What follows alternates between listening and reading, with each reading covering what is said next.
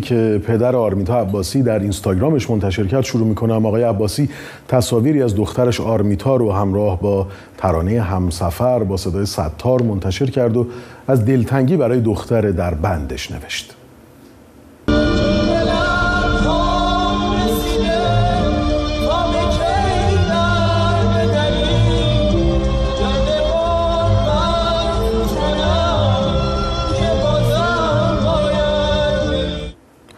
اکانت 1500 تصویر هم در توییتر از ایجاد محدودیت برای خانواده محسن شکاری در آستانه چهلم او خبر داد و نوشت امروز به خانواده محسن شکاری اجازه ندادن برای محسن سنگ مزار بذارن.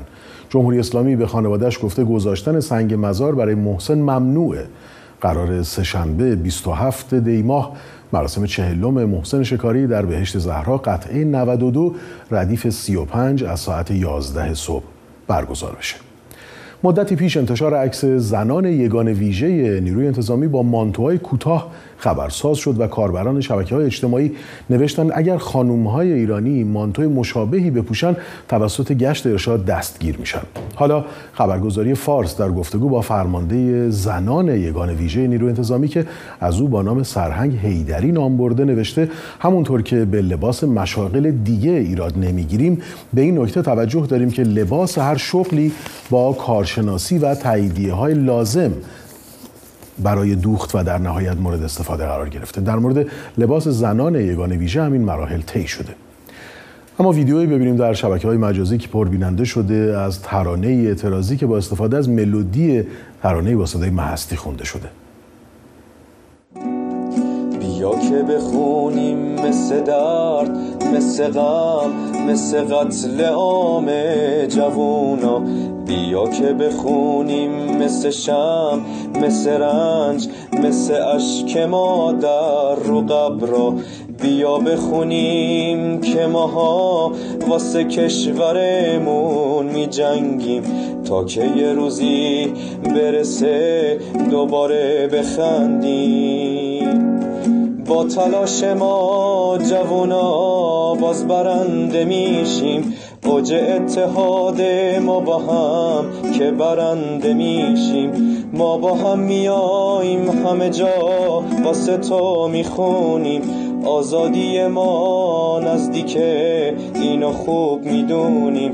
فقر و رنج و درد یه روزی دیگه بین ما نیست. می‌خونیم با هم همه جا دیگه هیچ غمی نیست.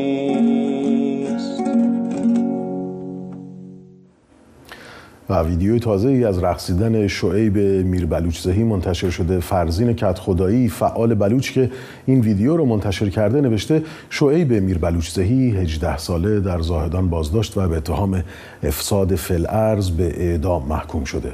او رو شکنجه کرده و گفتن اگر لیدری اعتراضات و همکاری با گروه های مسلح رو قبول کنه در حکم اعدامش تخفیف قائل میشن.